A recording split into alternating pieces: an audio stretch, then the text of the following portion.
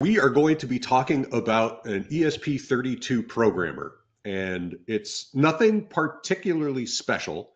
And the origin of it is from doing some manufacturing with ESP32s, where I, don't know why it took me so long to realize that I could reduce the cost of manufacturing by taking the programmer off of the board because I mean, once you've programmed the thing and you've screwed it onto the wall, you don't need it anymore. No one that that buys the product that I was making was going to ever program it or ever need to interact with the UART.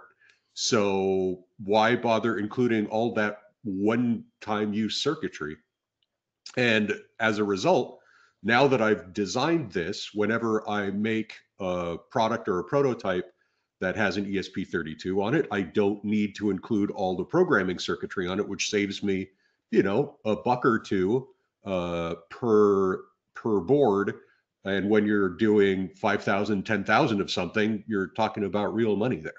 So this programmer is basically the the ESP32 uh, or sorry, the uh, the the USB to UART bridge with a voltage regulator for additional power, and then